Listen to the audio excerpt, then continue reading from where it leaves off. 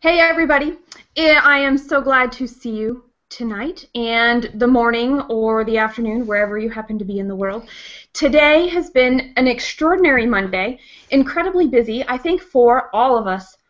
As we were chatting in the green room, it, it really became apparent that how amazing is it that we can do so much and be so connected to everybody that's really far away. And, and that was one of the things that I was actually grateful and blessed for today in terms of being able to stay in touch with not only my family and my friends, but to also cultivate the relationships that I am building both personally and professionally with the vast distances. So with that, I want to say thank you, welcome, and we're going to roll the open. We'll roll, roll the open and it's always it is always a high drama. And when it's live like this we just cross our fingers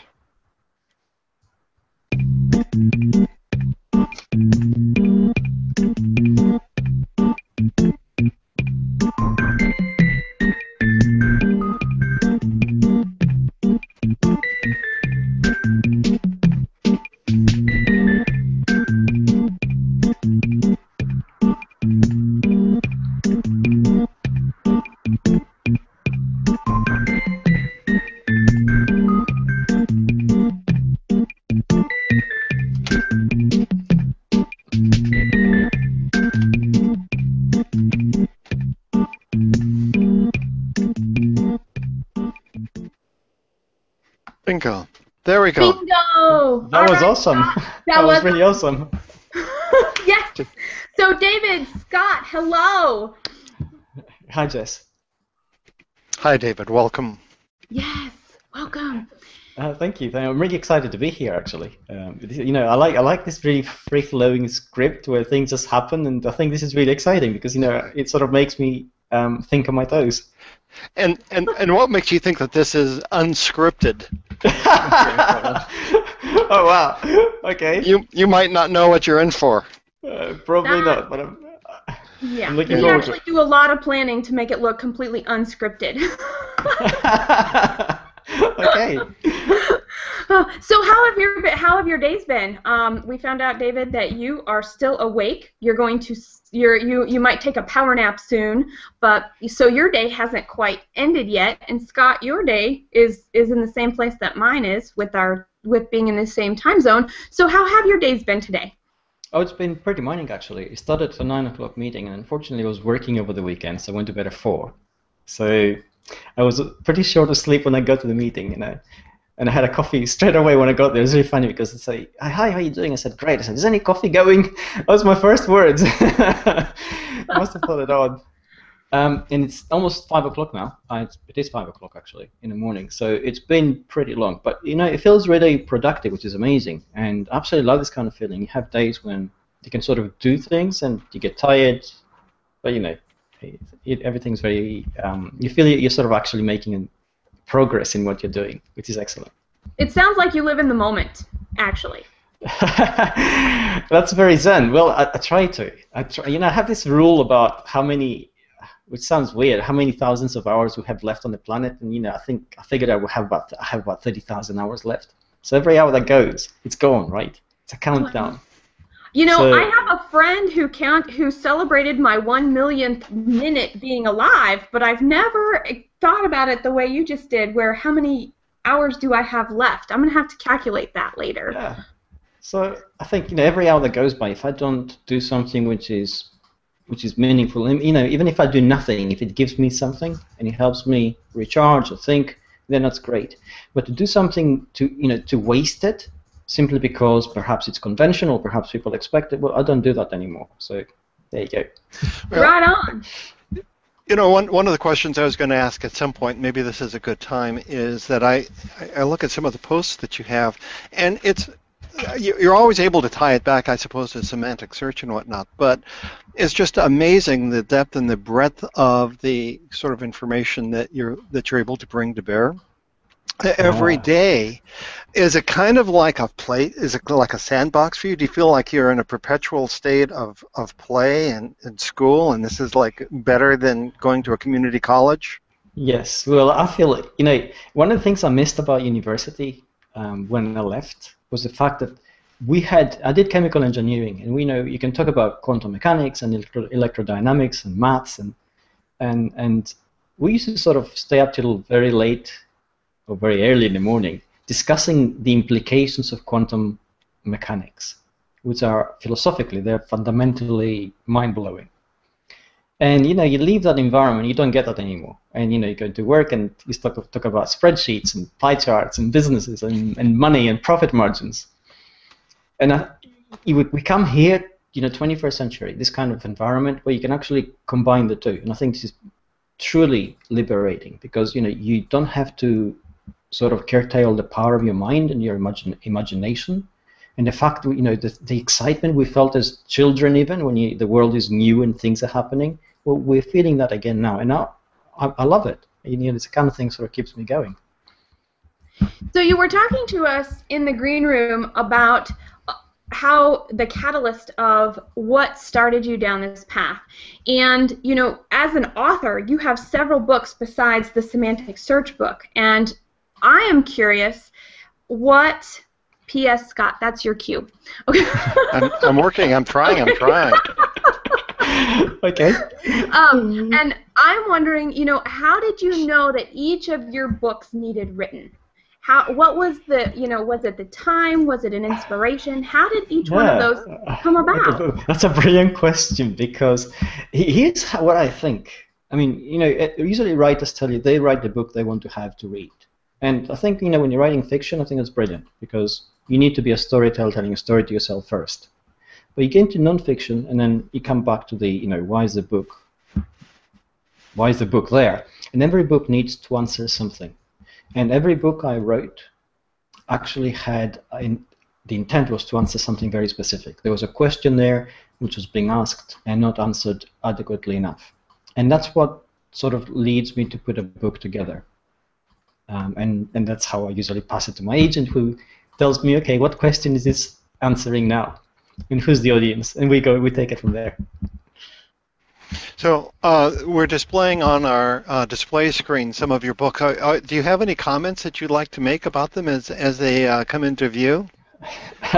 well, I'll tell you the story of how the very first one came out because um, I, you know, the SEO help, and this is like its fourth iteration now.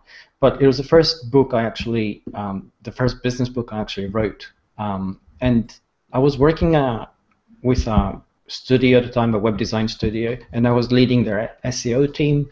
I was uh, helping them out put together the processes which needed to sort of connect in a more professional basis with their clients.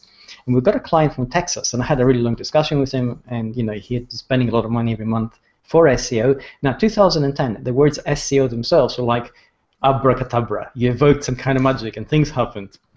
And uh, I sort of, uh, you know, I was having this discussion. He said, you know, we're not really getting anywhere, um, and the reports we're getting from our SEO agency are pretty bad. I said, okay. I said, you know, um, let me see what I can do. And I checked it out, and his website was zero, literally zero. He was not getting any kind of traction at all because it's in PDF at the time converted to JPEGs on the web. Yes, yeah, exactly. You know, and I thought, okay, we have a lot of room for improvement here. That was the good news. And then he sent me uh, one of the reports that the agency had sent him.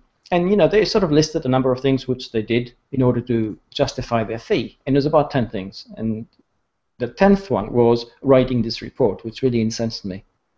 And I thought, this is ridiculous. You know, he shouldn't be spending money on this you know, the report should the, the, the money the time spent writing the report shouldn't be part of the cost. It's ridiculous. So it incensed me so much. I thought, okay, what I'm going to do is put together a 20-step guide, no theories, just explanation. Sit down and do it if you're a website owner, and that'll get you at the time to Google's first page. And it, it worked because I tested everything. So that's how it all started out. And obviously, I took it to the um, to my agent who said, you know, I don't think there's a market for SEO books. and I said, no. yeah, go um, figure. Uh, yeah, and I, you know, I said, well, you know, why don't you shop it around? And um, she did, and then um, it went to sort of several publishers, and the reply was, "Do you think this is really going to sell? Because it sounds very technical." I said, "You know, it isn't. Trust me. Okay, this is the kind of thing." And and they took a chance on me at the time, um, and they said, "Okay, let's try it." And they did, and it, and you know, it went, um, it was on bestseller lists in Amazon in three countries for about 14 months solid. So wow, it was, really that, yeah. what a great launch for your first yeah. book. It was, it was really exciting. So I thought, okay, I thought, you know, what, that what, became that became a platform. What was the biggest surprise in terms of writing it? Uh, the the amount of uh, emails I got at the time, and you got to remember, 2010 um, was not really a very social media savvy time. You know, we had Facebook, but Facebook was very closeted in a way. So I I wrote the book, and um, I, at the time I had a website called um, helpmyseo.com, which was basically the platform for the book and myself. And I started getting emails at the rate of, I mean, started off at the rate of 20 or 30 a week, and then sort of escalated to a few hundred and I was shocked because you know I, I was you know I'm a journalist by training in many ways. I was used to the distance between the writer and the author, uh, the writer and the reader, and I you know used to bang out an article, go in a newspaper or magazine. Readers would get it, but you know nobody would. You wouldn't get any feedback except from your editor.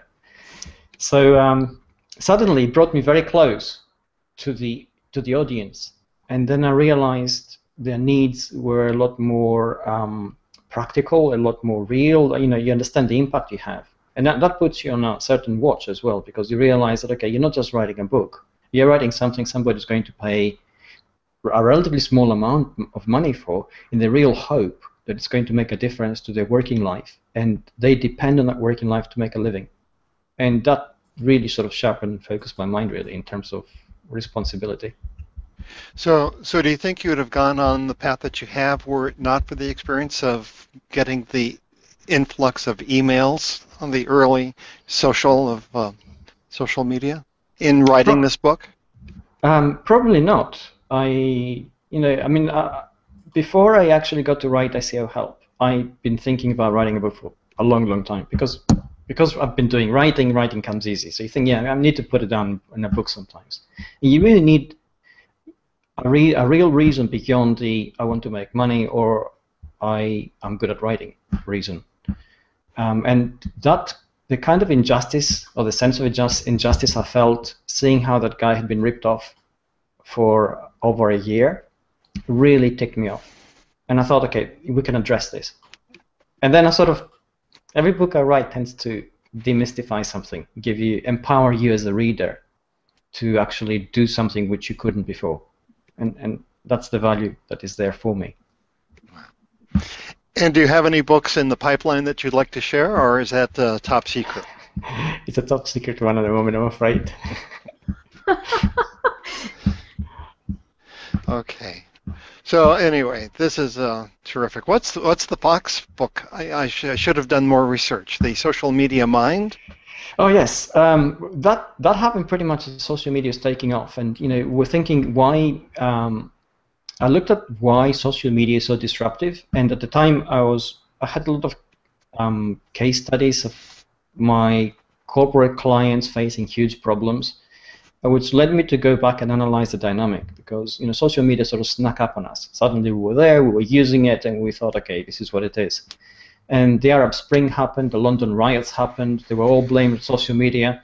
So when you see this kind of disruption happening across societies across the globe, and you know it happens in countries where you have repressive regimes, and it happens in countries where you have allegedly democracy, and then the heads of state in both sort of sets of countries come out with very similar language. I kid you not, where they talk about restricting access to social media and restricting civil rights and restricting citizens' rights, you think, okay, hold on a sec, something is going on here. And the rhetoric coming out of the UK following the London riots of 2011, I think, uh, or the summer of 2000, um, yeah, uh, 2011, was pretty much mirroring something the Soviet Union had said before that, China had said before that, and what um, regimes were saying across the Arab countries, which, which were experiencing a lot of unrest. And you think, well, this is not the kind of thing which happens by accident. It reflects a much deeper reaction to something which is very real and very dynamic, which is experienced by everybody at the same level. And that became the, the sort of the kernel for the book, really. Wow. You know, it, it seems like social media and uh, especially Google Plus, Google communities are less than a year old. As an example. Yeah, yeah. Uh, which is incredible. That it's that it's racing faster than what the traditional institutions can catch up. It's it's like wow, you know, and where did this come from? It came out of out of left field, uh, almost making it uh, the power to the people because uh, we're we're agile enough to be able to take advantage of it and and what what are the um, what are the how are the institutions responding to this? Um, I think you, huh. you, you gave a little bit of the answer there. Are they going to be able to catch up and then reshape and do, do the regulatory thing they normally do, or is the cat out of the box?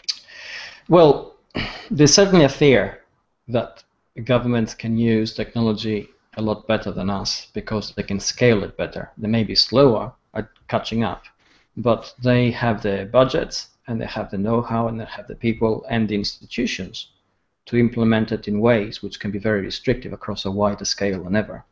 There's a there's a certain I mean as a fear it is very real and very valid. The question has to arise that because of the access we have as people, that is a huge power. I mean the power always resided with the people. If we go back to you know medieval feudal times, you know you had the a small cadre of, of armed troops living in your castle, and you had all the serfs under your, your thumb, but as long as the serfs were individual serfs working in your fields, you could do pretty much what you liked. If they all banded together and got their pitchforks and their torches, well, then you didn't stand a chance. People power did actually rule even back then, although in a very destructive way.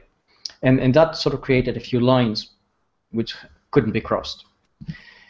I think with the um, wider access of, of, uh, of, social media to everybody, we're getting into a very disruptive period.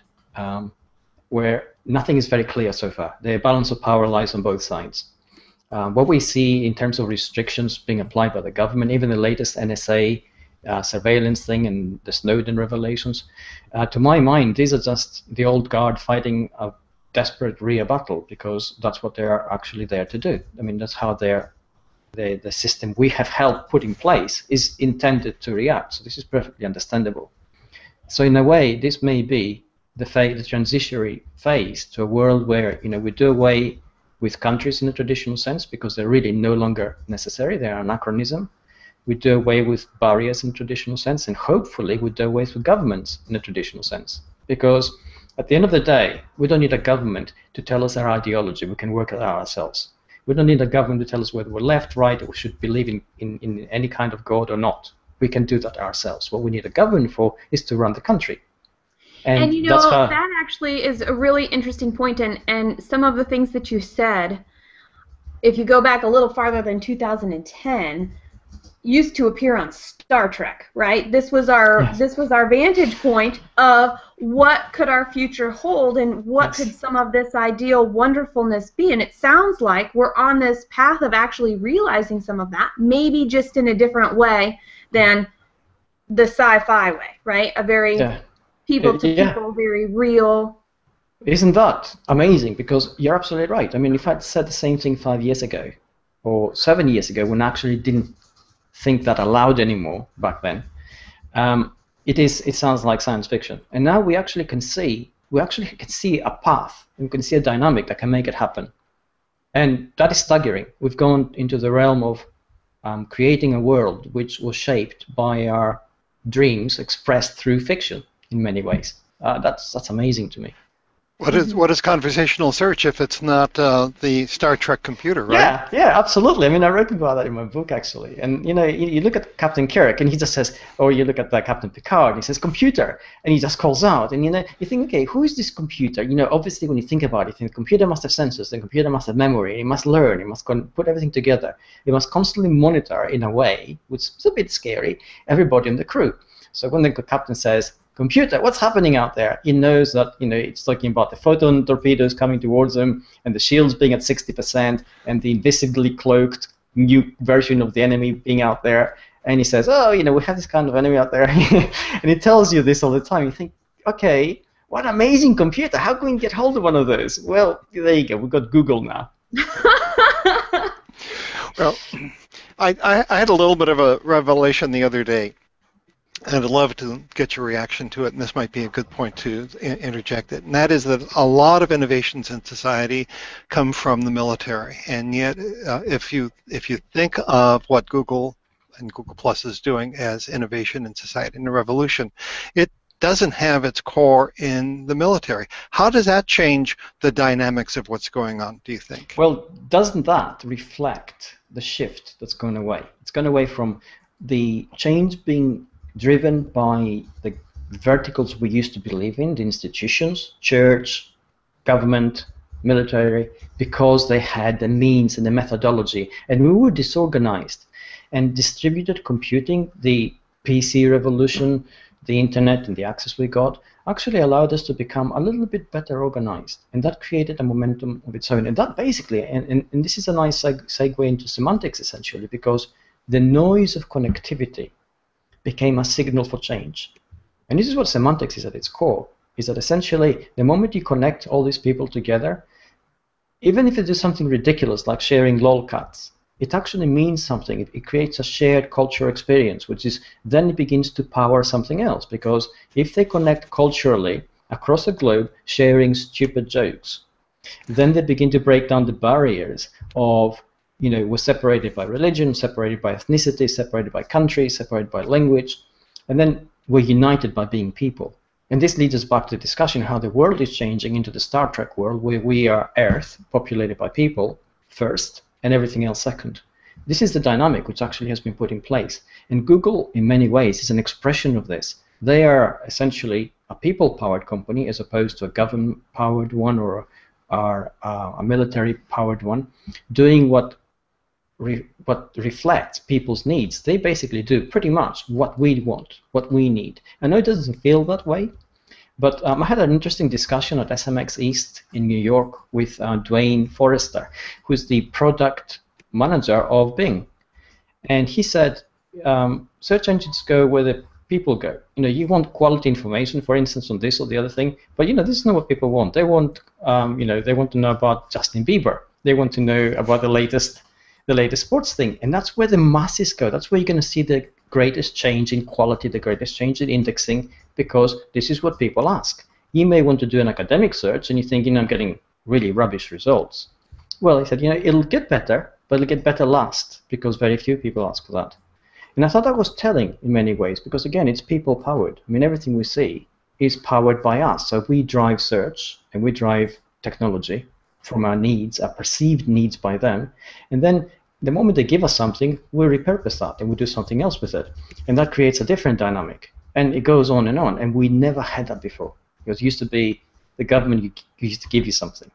The military used to give you some kind of technology saying, you know, you can use that now. You we don't want it. So knowing so, we're at this place now, right? We're at this we're at this place now we never really thought we would be at. We dreamt about and just within the last few years we're here. What does that mean five years from now, or I have a two and a half year old when he becomes an adult, you know, or when his kids are starting to experience the world. What does that change the game for how we think about the future, or does it just give us a different picture of the future? I think the two are related because essentially how we think about the future is informed by how we uh, form a worldview in the present. And how we do that right now is both scary and full of hope and excitement. It's scary because this is the 21st century in the full sense of the word. We're experiencing problems we've never faced before. We're experiencing issues we don't know how to deal with. We don't know how to, what to do about security, privacy, the flow of information, control, and command structures which are collapsing. We don't know how to trust the government we used to trust and the banks we used to trust in the past. We know things have to change. And we can't erase everything and start from scratch because obviously that's going to take us back to Stone Age. So we're sort of ambling along step at a time, doing exciting things, and we hope that as we move forward, we will collectively work it out. And I think this is the the, the children growing up now are more proficient at this and better at perhaps dealing with the uncertainty than we are. Um, classic example is Facebook, for instance, where as adults, we, you know, we used to find it a little bit weird. We connected with friends, we connected with school friends, and then we became a bit worried about privacy. And now we're saying, okay, everything you do on Facebook is going public and shouldn't. And at the same time, teens who are abandoning Facebook and going to Tumblr. However, when they are on Facebook, they're incredibly good at keeping their private and their um, public lives in check, and they know how to control it, and they do it instinctively. They don't have a strategy; they just know. And I think you know this is they they're true digital citizens, and we sort of had to learn this. Um, and you know that instinctive behavior is only going to become more so as we become um, as, as we become more embedded in a technological world, and the technology actually becomes more invisible in parts of our lives. So that's the world we're heading towards. I think that is just incredibly cool. And one of the things that really resonated with me that you said was talking about how we get to do it together. We we have the opportunity to be connected and collaborate in ways that may not have been as easy before because we could only collaborate with our neighbors or the people that we worked with or the people we happen to have relationships with, right? Or travel to see at a conference or, or whatever the case may be. And, and that piece of it is neat. The other piece is we all have a purpose here. And what our purpose is, is just so amazing to be able to know that we can find it, connect, and share something of value and find like minded people. There, I, I guess we don't need. We all have our own closets, whatever your belief system is. We all have things we like to keep in there. Maybe we don't need to keep it in there as much because we now have a new way to connect with people. That's that's very true, and I think um, what you just said. I mean, essentially, if we think of people as as little boxes, and you never really know 100% what's in the box. You do know, however, that if you leave the box alone, you'll never find out. You know, it could be one like Schrodinger's box. It could be of value, it could be not. The cat could be alive, it could be dead. It's a very sort of quantum uncertainty. And by connecting, we actually collapse the probability wave to a huge extent. And that's where the value comes from. Um, I know from myself, I mean, the, the excitement I felt when I connected to my readers through email in the first instance was fantastic. And it sort of has grown ever since. You know, social network has enabled people to get in touch with me. And actually, you know, a classic example is Google Semantic Search. When I wrote it, you know, I had the idea I needed to write this book. I didn't really, you know, the subject is huge, and I spent 18 months going through academic papers, researching stuff, so that I could actually get a really deep handle on it the book I had in mind, because it's the propensity I have sometimes, I, I love the intellectual purity of mathematics, so it was going to be a lot more academic. Because you know, I was trying to explain semantic search. And what I started doing, because it felt really lonely writing all this, is you know, you're working all hours of the day in a in a basically a cubicle, right, which is surrounded by your research. So I started putting snippets and ideas on Google Plus. And I got tremendous response. People started sharing, adding their own thoughts, adding their own ideas, adding their own, and that changed entirely the way and the direction my book was heading towards. I thought, okay, you know, this, uh, being academic probably makes me feel good about it, but it, it's not really going to appeal very much because it's not very practical. So I sort of went back to the drawing board and pretty much redrew the entire concept of the book. So when you actually see Google Semantic Search, in many ways, it's been collaboratively written with all the people who um, generously gave me their time and ideas and energy in Google Plus and shared that with me. And that shows that left to myself, that little box, which is perhaps David Amerland, the value of what was going to come out of that would have been a lot less had it not been for the connection. And I think by connecting, we help realize each other's values. They, whatever ideas we have in our heads, they sync. Whatever knowledge we have, generously shared, makes a difference to everybody else. And that sort of goes all around the network. And, and Google Plus is unique in actually making this happen. I think we didn't have it before. The excitement we feel being here every day, uh, it's unrivaled. You know, I try to explain to people who are not here, and it sounds like I'm on drugs. So I don't tell them anymore. so, well, um, oh, go ahead, Scott. Well, I was just going to say we, we were planning this for later, but uh, Jess, would uh, would you look in the chat and say yes or no? I think we should wait. Okay. Never mind. Never mind. Go this ahead. Is a, it's a production meeting, right? Going on behind the scenes. Perfect. Yeah, love you're, it. You're you're not allowed to look in the chat. Okay. You, you actually are allowed to look in the chat if you want. We decided we okay. can't hide all the details from the people watching us and the people joining us. So you get to see all the chords and all of the stuff that we might trip on and I was, you know, all that good I stuff. I was just kidding. I was just kidding. You can do whatever you want, David. You are our well, honored okay, guest. But you know, the, there is a good segue into. So let's have any. Has anybody Scott ask some questions or anything about this because we're transitioning into the semantic search piece of our conversation. And I know we had one question submitted before the show started, and I didn't know if any more had come up that we should talk we've about. Had some, we've had some nice comments, but we haven't had any uh, specific questions. But I can decided not to do the comment tracker for a variety of reasons, but I might be able to kind of cheat here and bring up the question. Would that be a good idea? Yeah, Would yeah, you like that? Yeah, if you want, absolutely. Or So- I've got it in the chat so we can just read it verbatim. Well, it's in the it's in the uh, it's in the screen. It's it's Oh, let's do it. Yeah, Kind of- here it comes. Okay. kind of low tech. It's a screen capture. But Heather Crafter asks, I want to know how or why to use hashtags in this new world of semantic search. Hope you will address this one. Perfect. Okay. Taxonomy, which is essentially the ability to classify um, objects, words, content, is really important in semantic search because it actually helps search when it actually when it indexes um, information to better understand the cluster it should go into. Uh, you probably have noticed that Google has implemented autom automatic hashtags in some of the comments um, that understands. It does that for a reason. And the reason is, again, because you can easily, in a little better way, index the um, posts we put up or, and understand their importance in terms of the content and the intent and the, the deeper value. So to answer the question specifically, yes, you should always use hashtags for very specific reasons. Perhaps you're doing a subject which you want to be identified with. You can use that to actually link all your content. Um, you may want to start a campaign. You want all the content related around the campaign. Again, you can do that. The proviso here is that hashtags that are person-generated can be overused, like keywords in the past. We used to stuff keywords everywhere. So use it judiciously.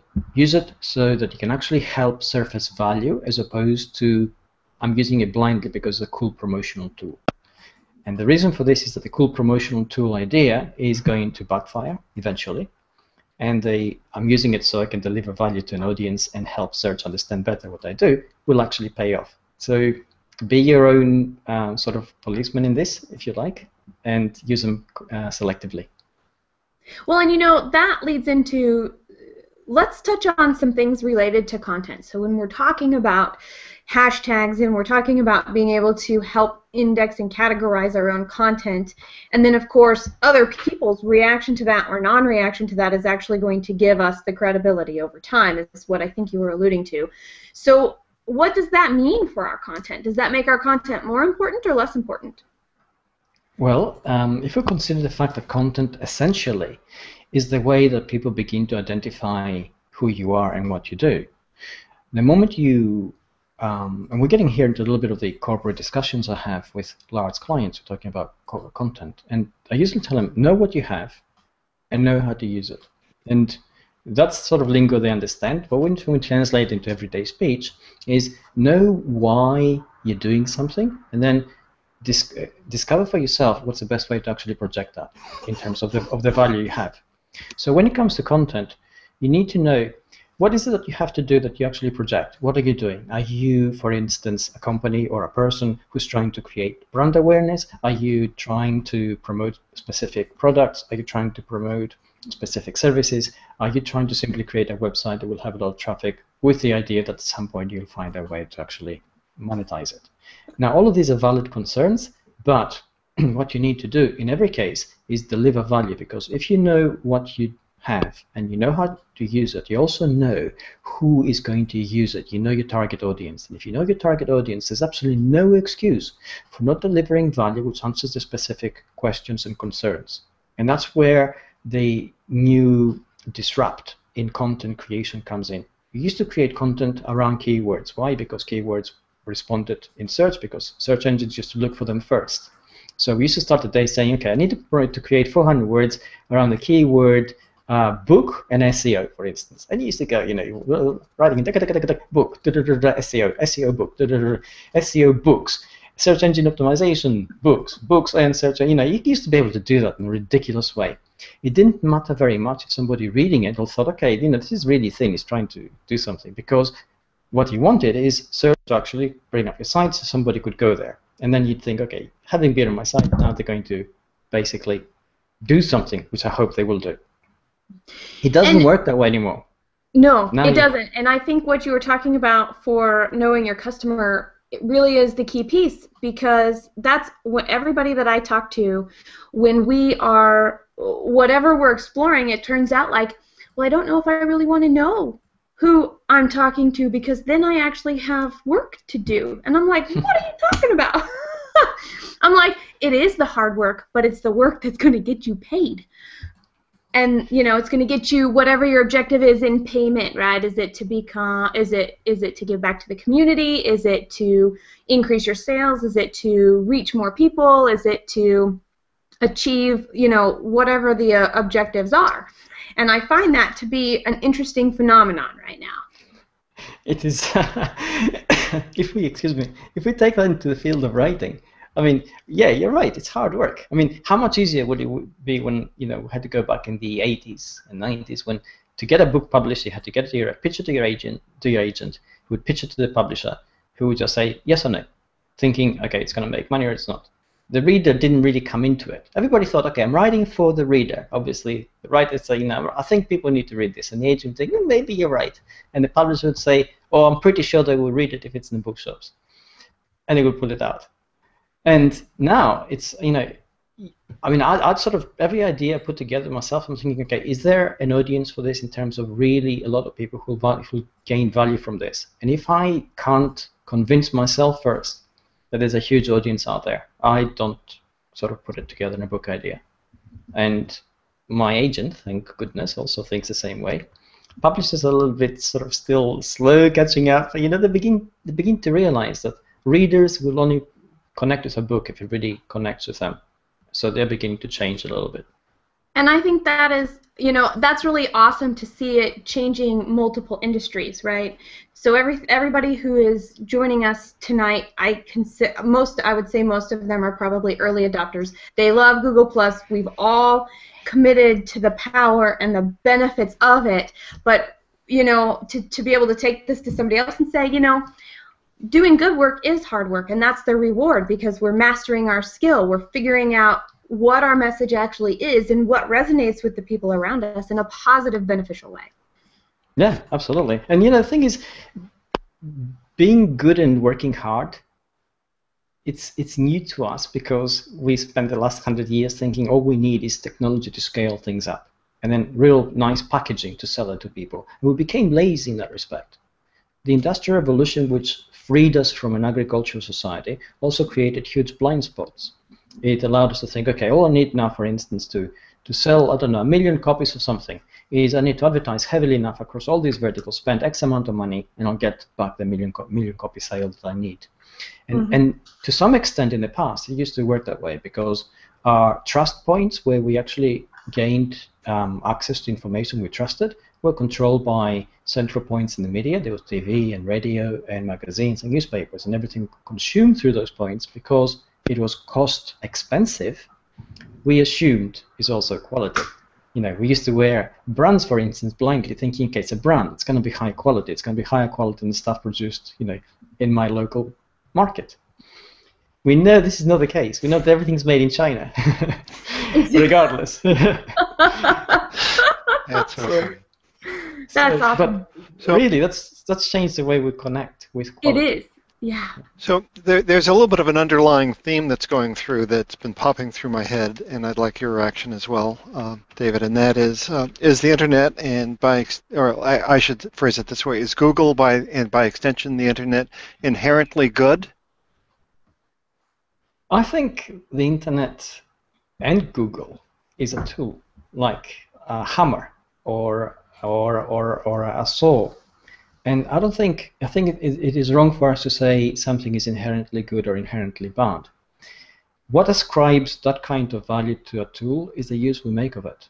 And as people now we have become a lot more accountable for our actions than in the past. And the only reason this has happened is because our actions now take place in a much more public domain than in the past.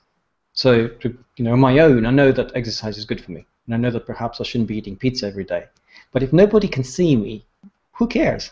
I can do that, I'm thinking I'm going to get better.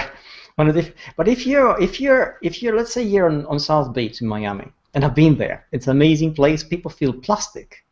just, they seem to be molded from different kind of, of genetic material to the rest of us. That's so funny. You go there, and you know you see these ultra fit people doing incredible things in public, totally, seemingly totally oblivious to anybody watching them. You know, you're not going to go out and buy a slice of pizza. You're thinking, where's my nearest carrot sticks sales supply?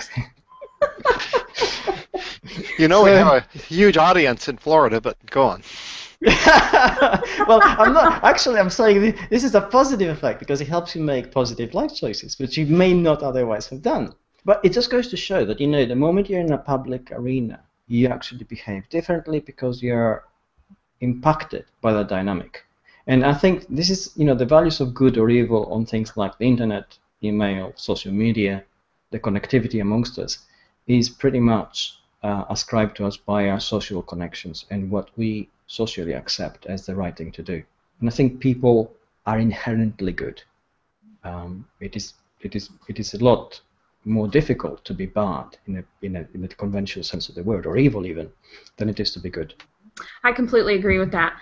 That that's that. You might just have to come back so we can talk about that someday on our show because. Yeah.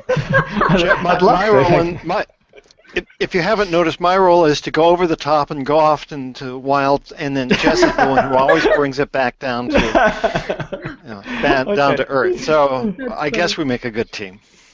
Yes, we do.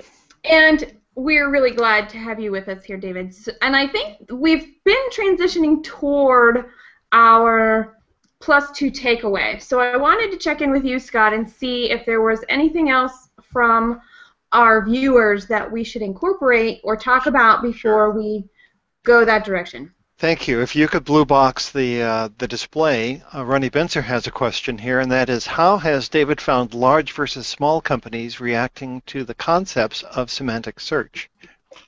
Ha, that is an excellent question.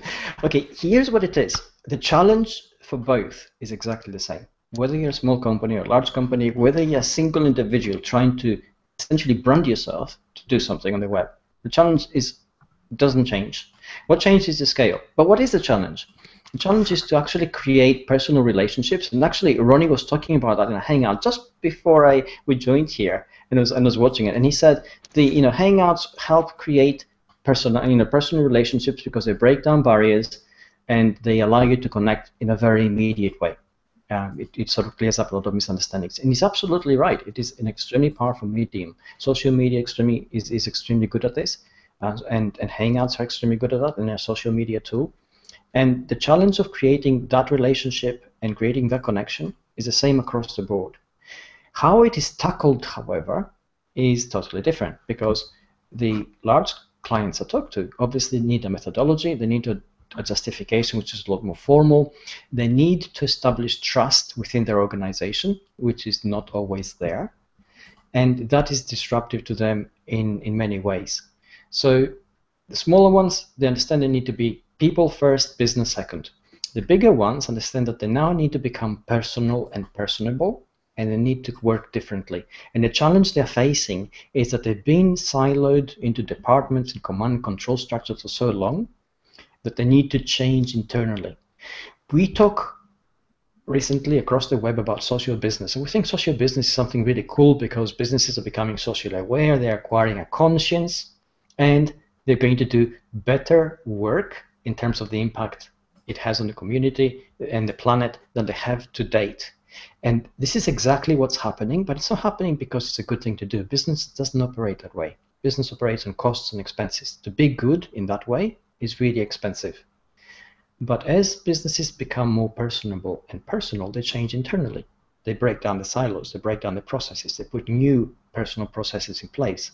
The moment you begin to mirror the network effect that you see outside, well, you also begin to be, understand that you know business is just people, and people are not bad. They all want the same thing. We all live on the same planet.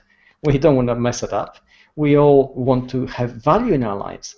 So, what's really good about a business and what is really profitable for it at the end of the day is when its people inside it believe so strongly about what they do that they project it outside in such a way that actually connects with their target audience.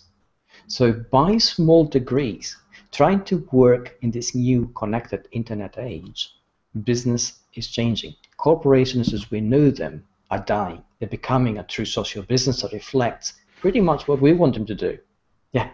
So you you earlier talked about uh, essentially putting words in your mouth, the death of the nation state, and now you're talking about the death of the traditional. This is a revolution.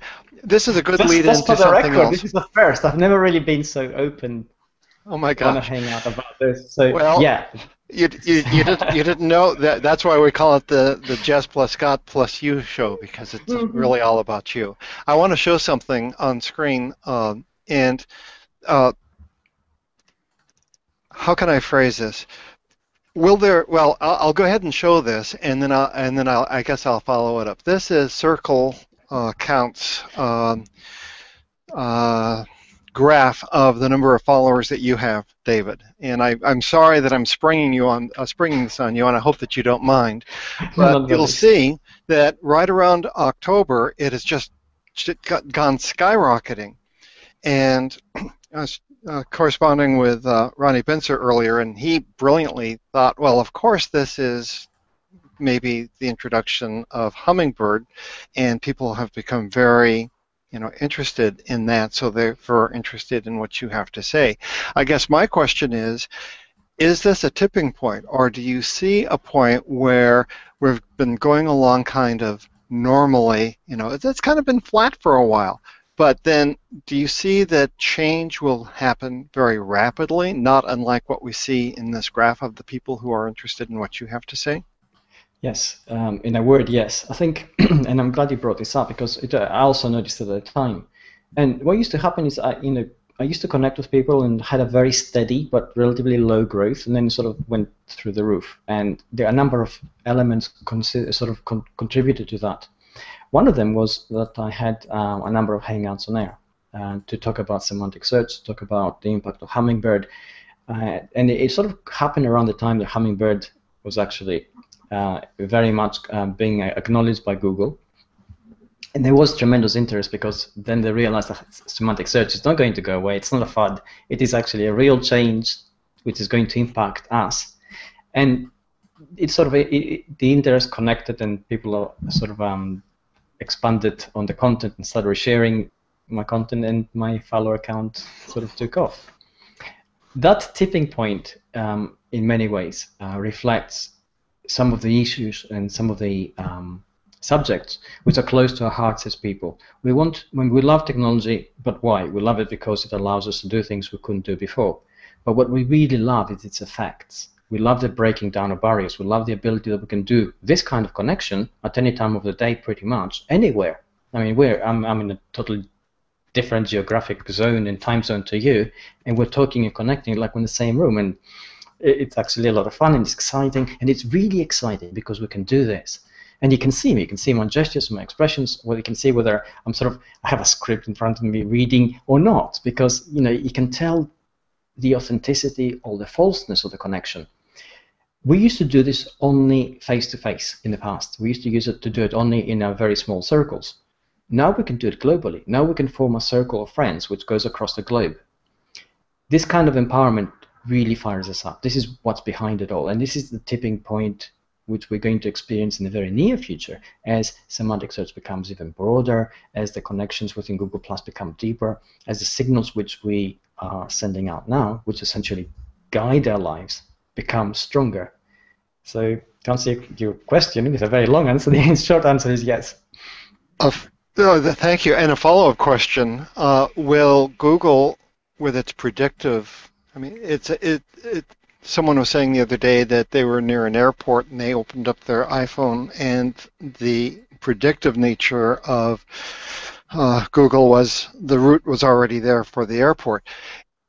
Will you know? Will Google or will anyone be able to predict the, uh, the this this tipping point because they they see enough they they connect can connect enough enough dots to see it coming.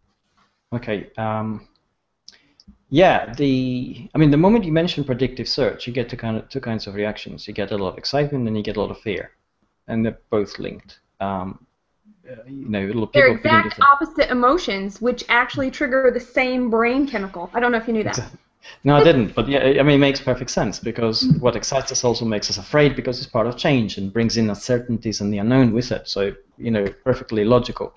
I I was just in a discussion very recently on a separate thread where you know somebody talked about predictive search and how predictable we are, and I said we are, and they took umbrage to that, and I sort of had to leave because I thought this is not getting anywhere. Um, but essentially. Um, yes, they can because they can mine signals across an entirety of spectrum, which allows predictive search to actually work. Google now works extremely well. And although we'd like to think we're very unpredictable because inside our heads everything is unique, every moment is there, it's only happened just now, and we think, how can we possibly um, begin to um, to be so predictable that people understand us, or, or Google predicts what we'll do next? The thing is, our behavior across its breadth is, is actually very predictable. There's a routine to it, there's a pattern. There's things we like, things we don't like. We think they're new and unique, we think we have fresh ideas all the time because we, I mean, I, we can't even remember what we had for, for lunch on Thursday last week.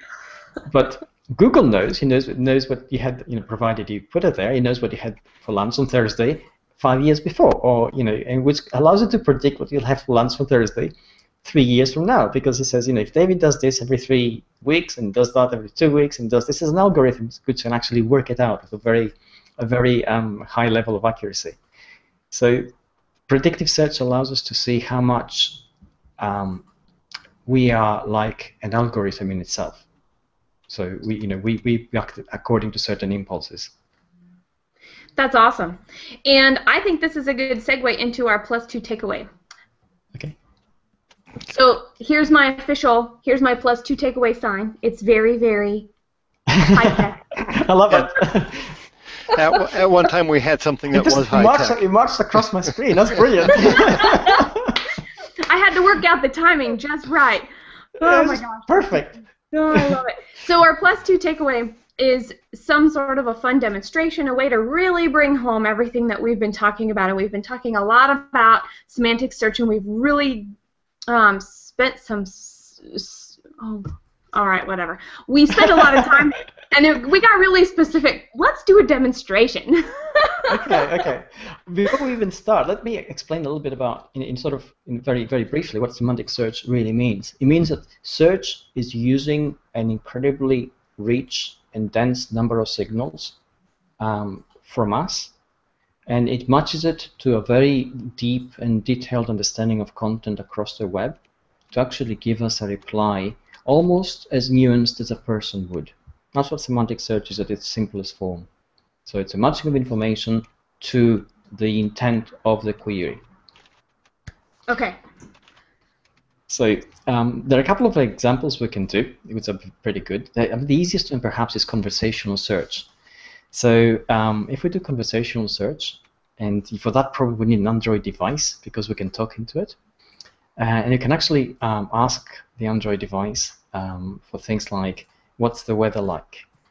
And it will probably give you the, well, it will actually give you the weather. It'll tell you the weather at your location, wherever you may be. So, you know, I did it, you know, when I do it in Britain, it tells me, I mean, it tells me the same thing it tells me every day. It's rainy. no, that's that would Seattle. tell you when you visit Seattle, it's raining. well, yeah, I should feel right at home then. Um, but you know, I did it in New York when I was in New York, and I said, "What's it?" Because you know, I wasn't familiar with New York weather. I said, "You know, what's the weather like?" And it told me what the weather was like, and even even better because the day before I had done an internet search on my desktop about the Empire State Building. Because I thought, you know, I need to go there as soon as I get a chance. So I fire up Google now, and uh, I say the first thing I see, it tells me Empire State Building, 15 minutes away from where I was. I thought, this is awesome. This is really, really cool. And it actually gave me that on a chance that I would actually be interested to know where the Empire State Building was in, in terms of the location. Now, that kind of interfacing with technology is almost like technology is becoming what we what do we want technology to do to assist us? And normally we had to do work for that to happen. You know, you have to go into your car, open the door, turn on the engine, check the mirror, wait for the engine to warm up. I mean, how much better would it be if your car actually knew that at 7:45 you're going to be there, the car engine is warmed up, The door opens automatically for you as you approach, and you to sit down. I mean, that, that's a lot better, right? And that's that's the kind of technology we need to go towards. And and this is what's happening with search. It's actually getting to the point where it understands almost what we want to do, and then tries to um, think ahead of it for us in order mm-hmm. to help us do it. But Hummingbird does a lot of other things. When it has a kind of rich um, connection, then it allows us to do things like perhaps, you know, um, I drink a lot of coffee, like a lot of coffee, but also drink a lot of tea. So if you go, you know, Hummingbird now understands words like versus. So if you put on, on desktop coffee versus tea, immediately get the calorific values and all the good the nutrients of each one. It's a comparison test. Let's see if this is working. And look at that. yes. And you can even do a, nonsens- a nonsensical comparison, like milk versus water. Like I don't know if anybody would do that, but I, it would probably come up and give us something milk. which versus water. All right. There so. you go. I, yeah. there you go. There's more fat. In, I mean, it's a fact, right? There's more fat in milk than in water. That's great. That's terrific. Um, well, how about if we can we can we do the weather in Seattle versus oops. the weather in what? Try that. I mean, eventually you'll be able to do that. I mean, the signals that you need to actually. This is the thing about some. I mean, definitely let's try it and see what happens. Um, okay, so how should I do it? Or I guess Washington to Greece. I don't know how specific we should well, be. let's try. Let's try a couple of cities. Let's try Seattle to Athens. Uh, Seattle versus Athens. Okay. And see if we can get a comparison. Mm. Athens, Greece. Okay, let's let's. Okay. Okay, Athens. There you go. Comes up. Greece. Yeah. All right. So there's a flight there. Okay. Yep. Yeah. Okay. And, and this is actually this is I'm, I'm very glad we did this because now here what what is happening is search is trying to understand what we're doing. It is not yet sufficiently rich in terms of the knowledge it has. It's still building up. And let's not forget, semantic search essentially is less than a year old. You know, we're not even there yet. So it, it takes an enormous amount of information to actually carry out these comparisons. But it's getting there with every every step of the way. Sugar versus vinegar. That's pretty yeah. cool because because vinegar. I mean, this is interesting because vinegar was actually misspelled, so the searchers actually actually understood what yeah. we needed. No, no, no, no don't worry. I love. I, no. I love. It was love totally that. planned that way. yes. you know, Scott, I must admit that before Google, my spelling used to be pretty spot on. And these days, you know, I just have, I have to Google some of the most ridiculous words sometimes, thinking, what's wrong with me? Why can't I just remember? But I've sort of given it up. You know, I, I just go to Google and gives me the right spelling words. So it's one of these. Uh, it's a it's a decision we make about about transactive memory and and uh, learning. So essentially, transactive memory is how we um, learn things and we remember what they are. In order to learn more than we know, sometimes we don't need to know what we know as long as we know where to access it. And, and Google very much does that. So it allows and us to. our brains adapt to that very well. I mean, yes. Right? Yeah. In my house, I have specific things I do. Ryan, my husband, has specific things he does. And I have no idea how I would do anything he does if he went out of town. Yeah, well, this is it, isn't it? Yeah. And you know, we're talking about this as it's a, a learned behavior, but for those of uh, like our children who are growing up, uh, just as um, two and a half year old and my 14 year old, it's it's the new norm. It's yeah, like, yeah. Yeah, I mean, yeah. for them, they, they, don't have to think about it the way we do. But let's. Uh, what is interesting about talking about hummingbird now and uh, and behavior? Let's do something which is very generic, and let's type pizza restaurants, which is a very generic term. All right. I have to get back to the uh, thing. So okay, yeah. so yeah. PI. Okay, now this is very very generic because all you're doing is typing pizza restaurants and nothing else. Okay, and now you can see that it's actually trying to understand what you want. It's giving you some on Kent and some in in um, in Washington. Yeah, that's okay. Yeah. Now, if you type pizza restaurants near me. Oh. Ah. It's going to change. Voila. Or not. Or not. Yes. well, you get uh, you get Pizza Hut locations. You know, it's really it's really interesting because in the UK, if I do that, if I type pizza restaurants, I actually um, because the UK index is not as, as rich yet as um, google.com. So I get a small search box directly under the search, which asks me to find a pizza restaurant in its location. So I need to put in the city. So what's happening there is search is actually learning from my query. So it's learning where I am. And uh, know, the moment I say Manchester, for instance, or Stockport, or you know, uh, London, if I'm in London, then it begins to refine it. Next time I put pizza restaurants near me, it uses the previous locations trying to guess where I am and tries to give me the same sort of um, of content. And this is again part of the signals which are being mined. I mean, search can't really work well without us. It needs our signals. It needs our information in order to be able to um, understand our intent and refine the terms which come in. Which is, but it's learning all the time. It's getting better all the time, we're helping it. Ah, there you go. I'm, I'm trying to find your I'm trying to find your uh, favorite restaurant. Any of these uh, look familiar to you? Well, I no, I must admit, I'm, I'm terrible. I go to Pizza Hut. It's really bad. okay. Well, I'm going to go back to our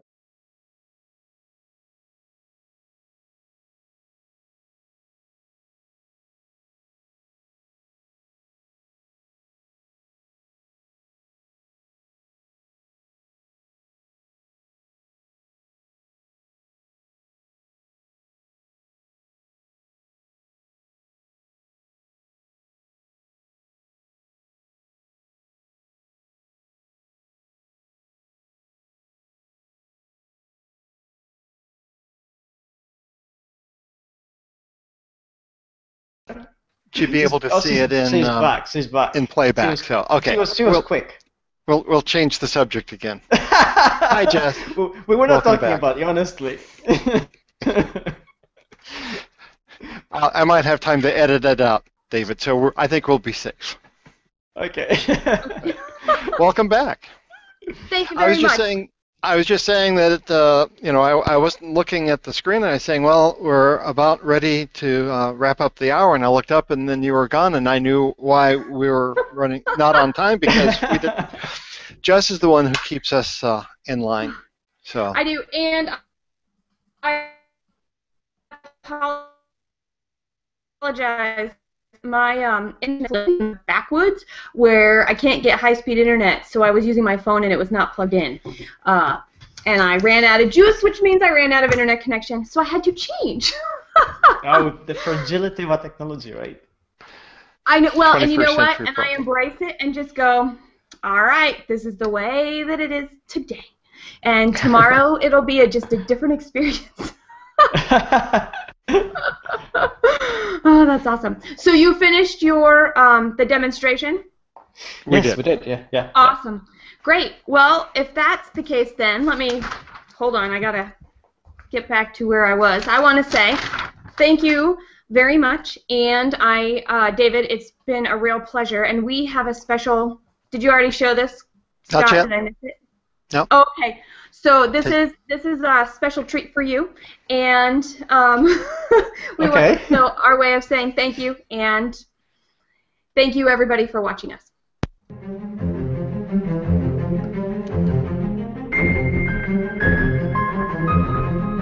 Oh wow. Hi, David Amerland's Google Semantic Search is probably one of the most challenging and thought-provoking books that I've read in quite a while.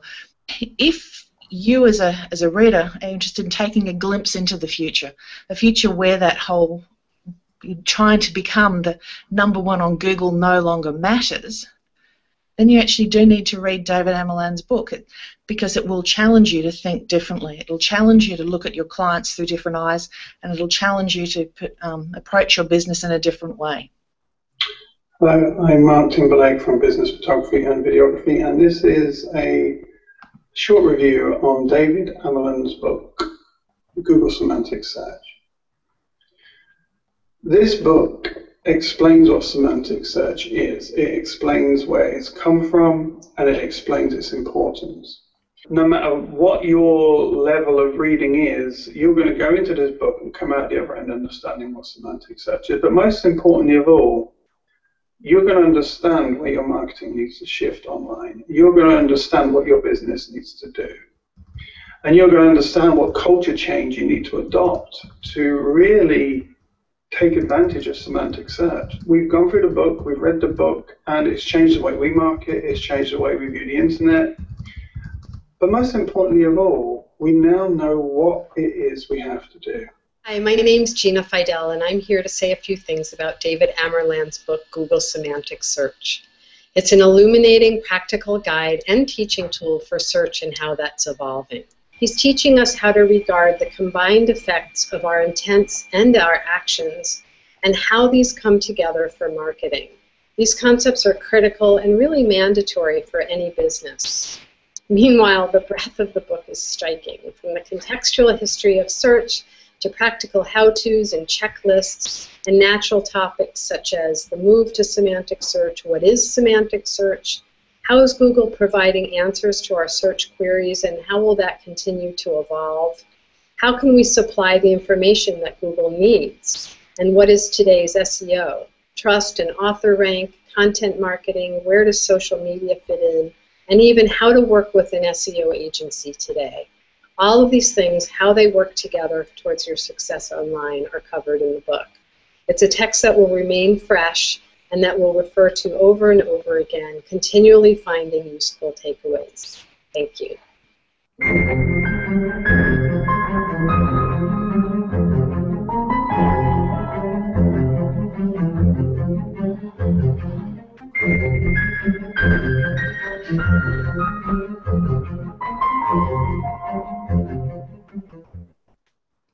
That was amazing. Thank you very much, both of you. I was surprised. You're very welcome, David. Good night and good morning. Thank you. Bye bye.